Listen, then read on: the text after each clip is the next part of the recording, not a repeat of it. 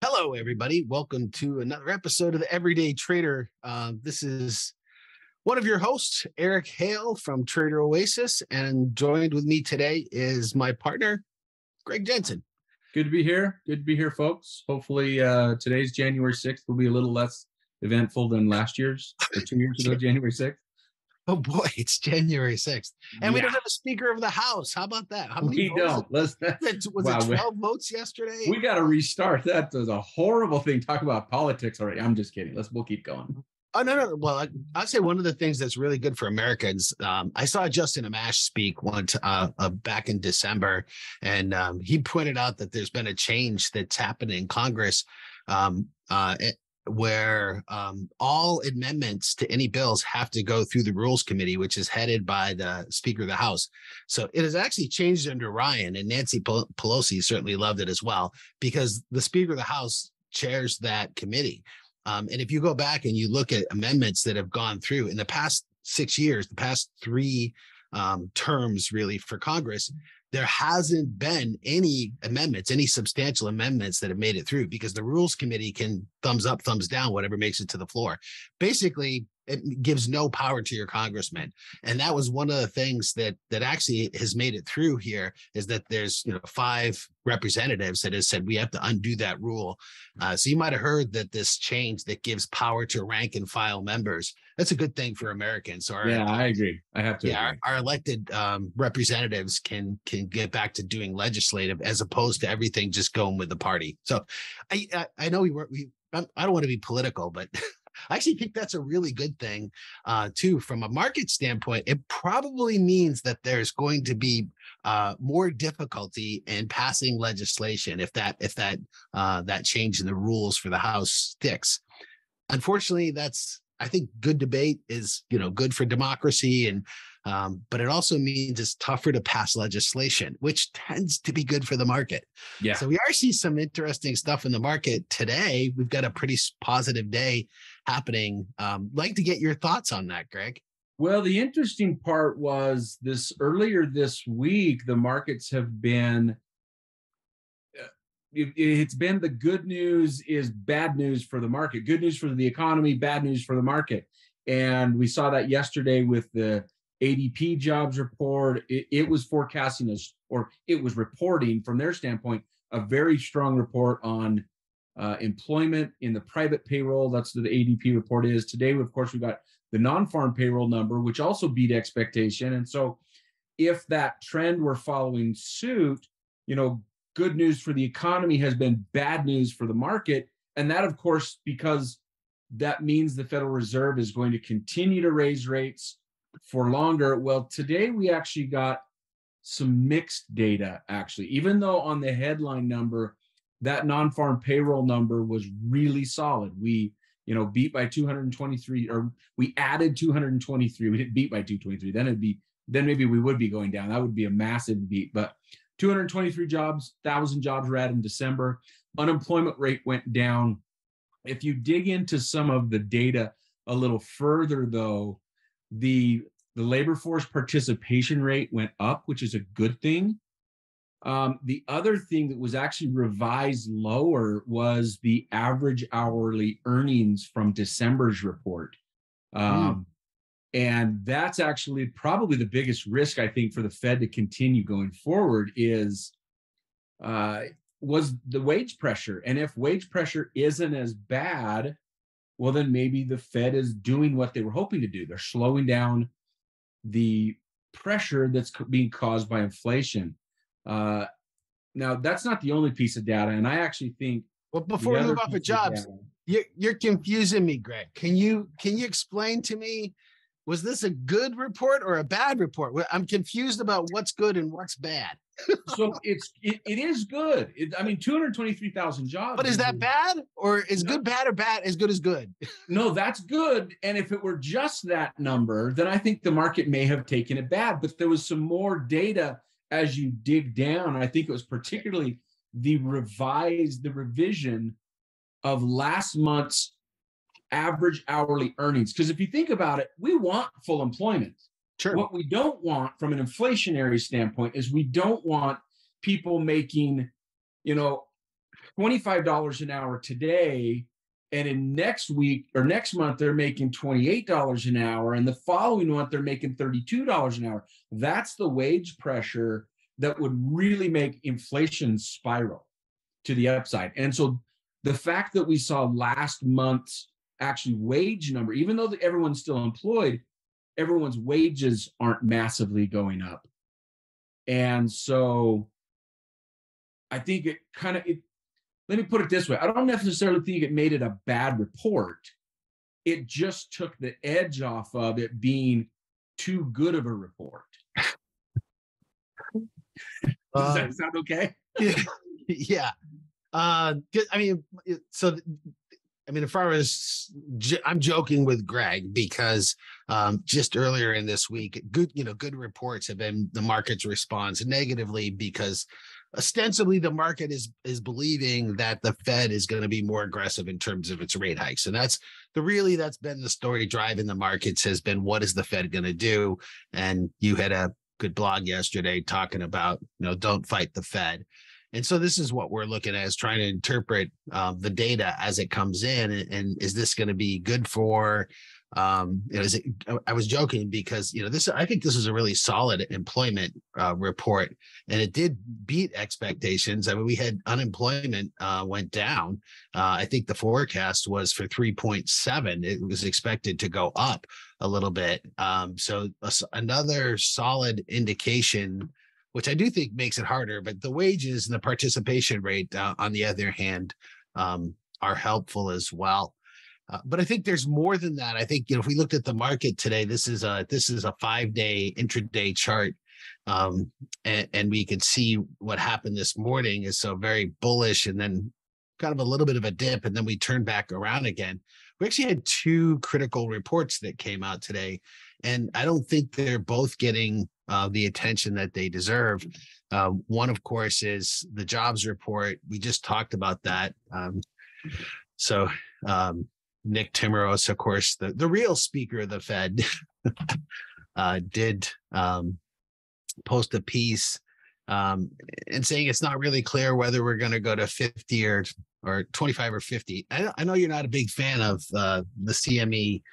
Uh, are, are are you a fan of this or not? I, I don't. I'm, I'm not. I think it's too easily manipulated, just like the VIX is too easy easily manipulated. Hmm. It's well, traded, it's so so what yeah. we're talking about is this. Uh, so the Chicago Mercantile Exchange trades futures on the Fed rates, Fed funds rate, which isn't loading for me right now. So hopefully it's not my internet.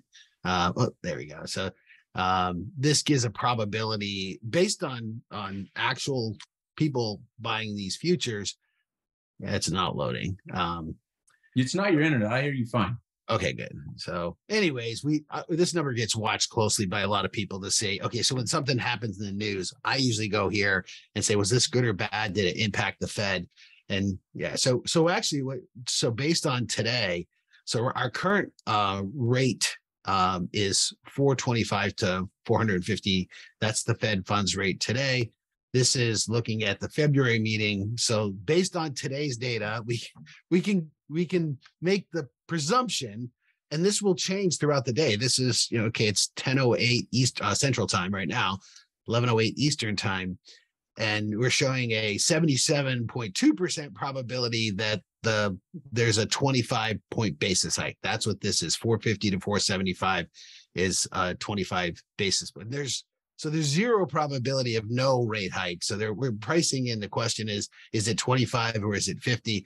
Based on the data today, um, according to the CME, it went down. And I, you're probably right. Watching this too much can be uh, can be a problem. Um, that that it, and things like this, especially like you mentioned the VIX. I think the VIX lost a lot of its power when it became an instrument that you could trade derivatives on the VIX. You can't trade the VIX. There are no options on the VIX. You can't buy and sell the VIX, but you can sell uh, options on futures and and futures. And so the since they started doing that, it changed the VIX. I mean, for me, it's a one of those philosophical things. Is if there's a a tree in the forest, does it make a sound? And when the observer, when for me, it's a, the, the philosophical thing is when you trade an index, it changes the index. So you're right. The CME thing, this this does probably get manipulated and jacked around a little bit. So we got to be careful with it. But I think on the surface, you can say that the summary of the news today is that the Fed is less likely. I would take away less likely for a 50 basis point hike, maybe pointing more towards a 25. I think that's fair. And I think the interesting thing was this week it's uh um the the Fed governor that they rolled out, or I guess he's not a governor, he's president of the Minneapolis Fed, Neel Kashkari was was who the Fed rolled out this week to say, you know, we're going to be higher for longer. You know, in the past it's been Bullard, right? Bullard has been the guy that's been the guy that's come out and he's been the hawk, and it was it was flipped this week in that Bullard's comments actually, I think, eased the market a little bit um, because he made the comment of he feels like we're not in a restrictive zone yet for inflation, but we're getting close. And for Bullard to say we're getting close, that's actually optimistic that maybe the Fed feels like they are accomplishing. And maybe they saw this ISM data that came out today um, that I think is what really has sparked this rally in the market today because right. the ISM data was not. That's where I was going to go next. Is that people weren't aren't really talking about that. I did want to touch on the Fed. Just just you and I both know because we've heard it uh, firsthand from um, from FOMC member members um, that the Fed, I think, is doing a much better job at staying coordinated in its messaging. I think that they've realized that when they're um, each out there expressing their opinions, which they're welcome to do, um, that it can have significant impacts on the market. And this, we've really seen this massive evolution that's happened since Greenspan on communicating, uh, the Fed communicating. It used to just be a black box and we didn't know.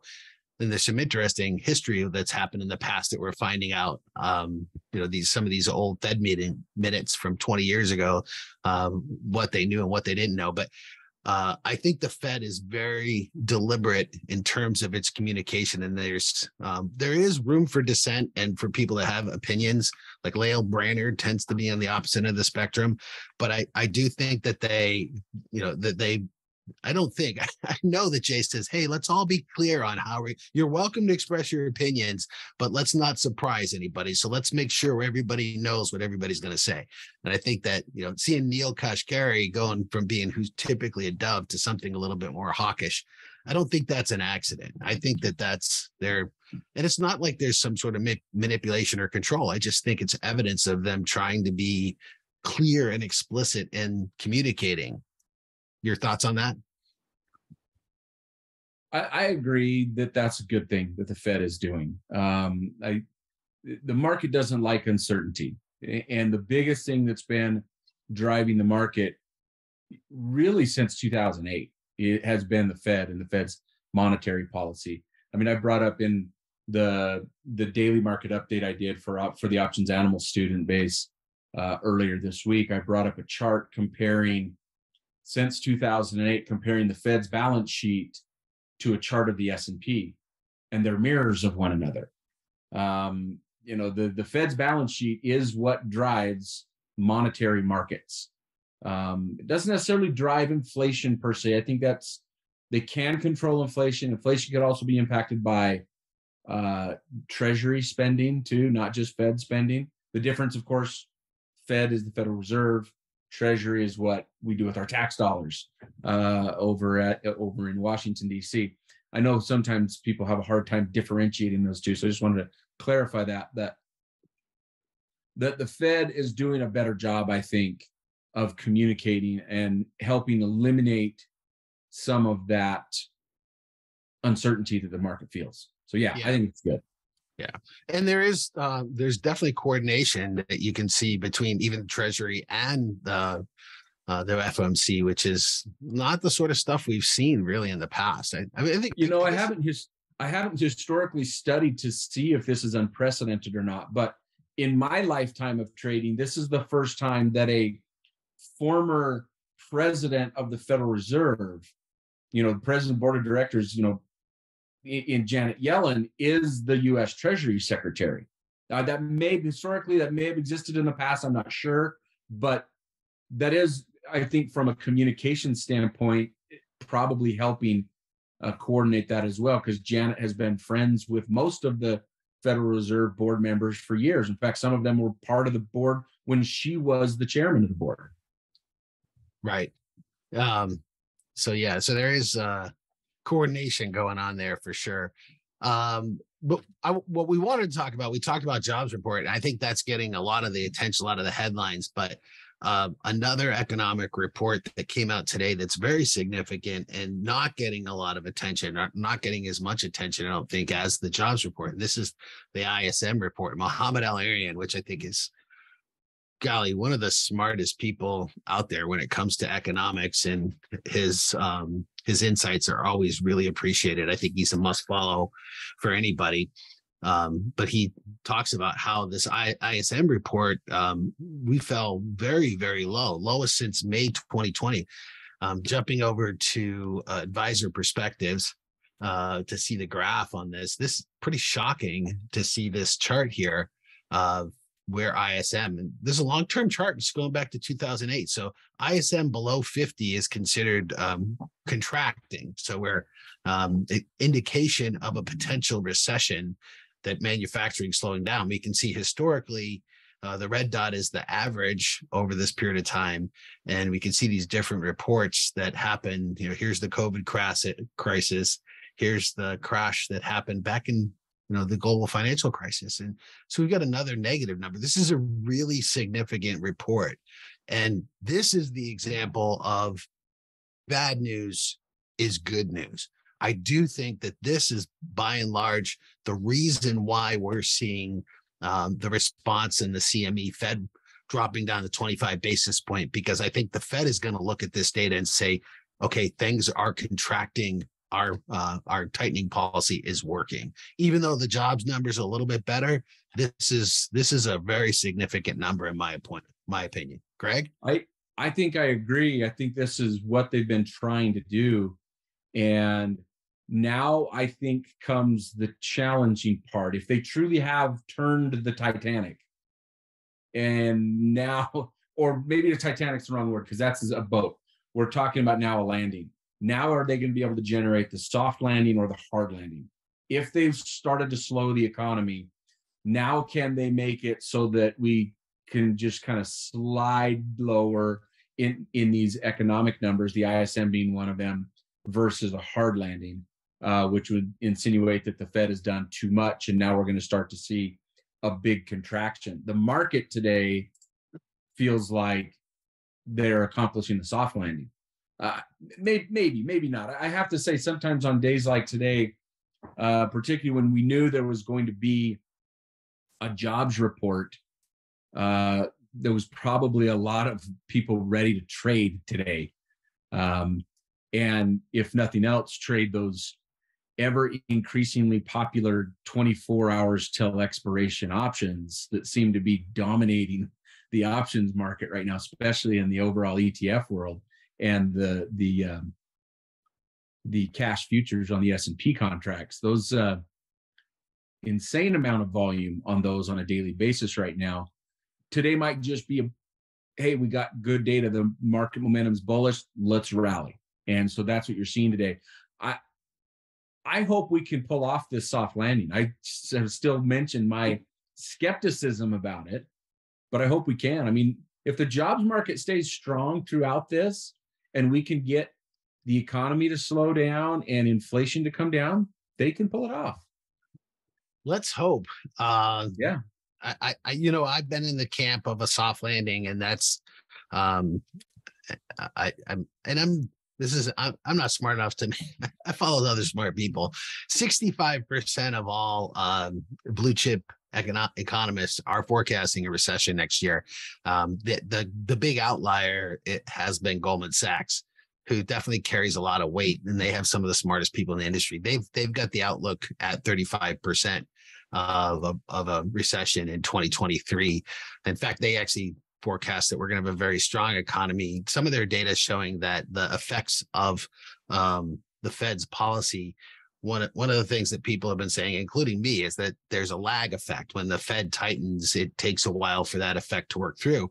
And they published a report at the end of December showing that um, that the effect actually has been much quicker. And we've seen the extent of um, the Fed policy playing out already, indicating that if, if there's no more lag, the, the economy is going to continue to strengthen and the Fed's going to actually go much higher than anybody thinks it's going to go. That's that's kind of their position, which so it's not a, a slam dunk that the market's going to go higher. If the economy gets better and the Fed is tighter, I think we can have a strong economy and have a weaker market. That's yeah. sort of what's spelling out there. So changes things um, eh, really interesting looking forward for 2023 because it really makes it a stock pickers market because before eh, you buy anything everything goes up eh, you know mark you know market goes right? Everything goes up buy everything the whole market goes up. And i think we're seeing a transition back to what i consider a normal market where fundamentals matter and some sectors are going to do better and some sectors are going to do poor. And Absolutely. so this is this is where it matters. It's not just buy everything it's it's let's try to pick some names Okay, Although there are some Matt, go on. Oh, I was gonna say I was gonna throw you a curveball. I know we got to wrap up soon, but um, let's rather than talking macro picture, let's jump to individual stock stuff right now. Then what's what are two what what's surprising to you today? If if you had to go buy buy something today, what are you looking at? Well, I do want to cover just one other sort of big picture thing. All right. And, and, this is for for people to look at, and we'll talk about that because I do have a stock name which we'll, we'll get to. It won't be a surprise to people, I don't think. It won't be a surprise to you, certainly.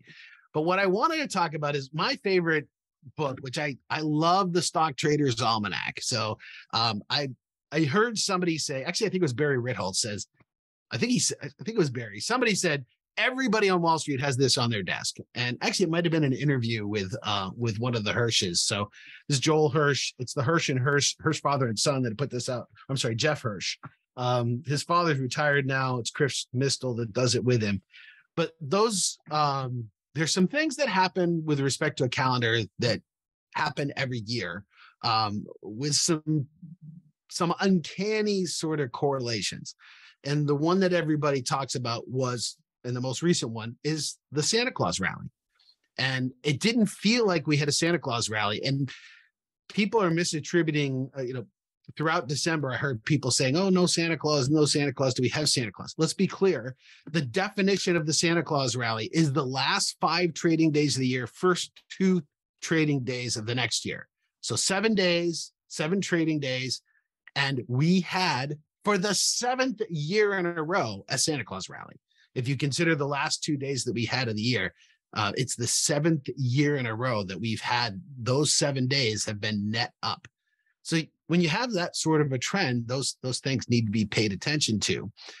The next one that's out there is this uh, January's first five days. There's also a thing called the January effect where you look at the whole month of January, but the January first five days, and let me read just a, a little bit of this. The last 47 up first five days were followed by full five year gains 39 times, 83% of the time that is for an average of a 14% gain over the year. So as the first week in January goes, 83% of the time in history, the the market has gone up. And we've had a few exceptions, and those tend to be when there's wars. So there, there is geopolitical risk that's out there. But the Stock Traders Almanac uh, uh, is a is a is a must buy. They don't give this stuff away for free. you know, spend 25 bucks and buy the book. Um, or you can pay for membership to get it online. I do think this is worth looking at because you just I'm you, I, you, you got to pay attention to something that has an 83% accuracy or something that happens seven years in a row. Um, not that we're short-term day traders or, or swing traders that are trying to take advantage of this, but in terms of making decisions, you know, maybe I should hold off or wait till something's clear. And it's data that you, you need to use. So I just wanted to share that and put a plug in for this this book. No connection to uh, to to the Stock Traders Almanac or Jeff Hirsch, but I think he does a great job. So before today, if that were the case, you know, we still have we're this is only day four, so we'll right. get Monday to include in that as well. Before today, we were down for the right. for the first five days. We, yeah. We're actually flipped positive. We're up about 30 points on the S&P right now for that first five trading days. Um, we'll see how today finishes out and how Monday does if that uh, holds true. It's so I, I've seen that hold true too. To be honest, I mean I've been trading a long time. I've seen this weird January effect happen. Like you said, 80% of the time, it's right. You know, I, I really want to understand the reason why behind these sort of things. I just, um, I, and, and it, there, there needs to be some narrative that explains why it can't just be random. I mean, you and I know that you can you, you shouldn't roll 12 that often on on the dice. It shouldn't come up that often. But we've seen people do it three times in a row. So okay maybe i should put hard sixes. Uh you know when you see it happen three times in a row that shouldn't happen very often. Um so that's probably luck but uh seeing what's going on in the market and we here's looking back five days and it looks like we could um you know we could finish where we go monday um positively. Not that that means i'm going to bias everything bullishly for it, but it's the sort of thing that makes you go, hmm. Yeah, we'll see. So switching gears to you, what am I watching? And and I, you know what I'm watching. I do. so Tesla has been uh, a very prominent um, in our. Somebody made a contest, are you guys a Tesla podcast?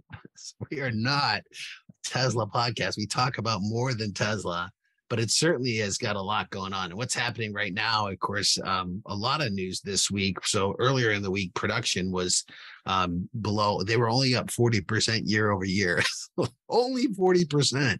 Like what? Like that's fantastic uh, on an annualized rate. It's just insane. And there's some stuff going on in China right now uh, where they've uh, just massively sliced on some of the models as much as a 14% discount on some of the Chinese models. So I think the market took that as as negative um, and big move down, and we've recovered a little bit here. I actually have a spread trade that I'm gonna I want to walk through to show people why cash secured puts and naked puts I think are dumb trades. I, I think that people are taking way too much risk and you can spread trade and and be able to get exactly the same result, not not even the same results, better results. So if you look so, in terms of risk versus capital, much lower risk, much higher return on risk, even potentially higher probabilities of making money. Um, it's what we teach. It's the core of what we teach. And I think people who, some people who've been in, uh, um, it, it, like I did a trade when the stock was around 180 uh, using a put spread, and uh, if I was doing a naked put, I would be down about eight thousand bucks in the trade right now. Instead, the trade's down three hundred and thirty-seven dollars, and I have a real good probability of adjusting that trade to make it make it profitable. So it's um, understanding spread trading is really important. I, I promise I'll do it in the next few days and put that out as a, a separate short video. It's an actual case study using real examples, you know, my real money to show people what I'm talking about here. I got to throw in two cents on Tesla as well. I've got a different stock I'm looking at. Um, they they only missed their deliveries number by what, like three or four percent. It was a pretty small number. Yet mm-hmm. the stock's down what fifty percent since Thanksgiving alone. I mean, it's overdone. Tesla's, in my opinion, a, is a screaming buy right now. Uh, could it go lower when it's a screaming buy? It always can. You never know 100 percent. And it goes Unhedged. to your point. Would you just go buy the stock or would you would you do a collar trade? No, I do a spread trade, exactly what you're saying and what you'll define in another video. Because well, so yeah, yeah, be careful. You say screaming buy, people are gonna go out and YOLO and just yeah. So the other go buy short term long calls or something. I don't know. The the other stock bad, I'm looking at this week. Go on, go on. All right, all right. The, my stock I'm looking at right now is actually Apple. Um, Apple I think had a pretty significant week. We made it through. They set their earnings date this week. Normally, if they're going to warn on earnings, which I know that's been some of the concern, there's been some rumblings out there that Apple's Q4 numbers are not going to be very good. Um, they they've had suppliers, you know, tell people to slow things down on production, like AirPods and uh, different wearables on watches that they have. Uh, they didn't say that about the phone, by the way. Um, I think if they were going to warn on earnings, they would have warned this week. Instead, what they did is they solidified their earnings date is set for February 2nd. Um, I think this might be one of those situations where you could actually start to see Apple rally in anticipation of earnings um, over the next few weeks. If it doesn't, I think it cr- could create a great earnings trade as well. Um, to take advantage of an explosive move with earnings because I think fundamentally, to me, that's a good sign that they got through. They announced they set their earnings date in stone, and there was no warning from the company this week when they normally would have issued some type of forecast trying to. Uh, if they were expecting a bad quarter, they were tr- trying to be softening it right now with different PR moves and they're not. I think we're going to see a good quarter out of Apple. So let me let me let me pin you down a little bit here. So explosive move, um, it, that I think a lot of option traders would think, oh, buy a straddle or a strangle. What what's your thoughts on that? I'd rather do some type of spread that pays for a straddle if you can. Uh, you could do an explosive collar right here and on the underline. You right. could do an explosive bull put, um, an exploding bull put where you have a credit spread that takes advantage of a directional move, whether you want it to be a bullish or a bearish leaning, you choose the call or put, but use a credit spread to pay for it. So, um, so let me let me interpret for some people what what you just described, and that is the difference between a Vega positive and a Vega negative trade. And Greg didn't say it, but that's the reason why he's he he identified those trades immediately. I said, okay, I know that what he's talking about. Those are Vega negative trades. What that means is when implied volatility goes down, which is exactly what tends to happen with earnings. We see it we see implied volatility rise going into the earnings event, and then we see a massive drop. And people who buy straddles and strangles usually lose money on earnings. It's uh, over time. Like Goldman Sachs did a study um, of straddles and strangles looking at 14,000 earnings events and uh, it showed that that was one of the worst strategies people can do over earnings is buying straddles or strangles. So yes, the stock is explosive, but it's already priced into the options, and this it tends to be exacerbated when a stock is down. So implied volatility is not bullish or bearish, but when a stock goes down, implied volatility tends to go up, and so I think the options are very expensive right now. I, I think it'd be really tough um, to make money on a straddle or strangle. I think you need to look at some other sort of strategy that would that would benefit from not only explosive move in the equity, but also a, drop in implied volatility. Do you agree? Yeah, I, I know. I hundred percent agree, and I actually think it, to you know, you, I know this may sound old school coming from an options trader. Buying the equity right here is not a bad thing, and using a collar trade to get through the earnings event in a month or so. Maybe even just buying a a even just a long call. I know options might be expensive. They're going to be more expensive on the put side than on the call side right now. Well, that's I, I, one of the things I've known with you, and and I don't know how you do it, but you're uncanny in being able to play long options on Apple. I've seen you do it for well over a decade, so uh, I, am fascinated. I'm not as good at it as you. You have a, a kind of a sixth sense there. But listen, I'm waiting for my next meeting. I think as long as we don't get some type of overriding bearish momentum in the overall market, I think Apple's a stock I like right here. I think same thing with Tesla.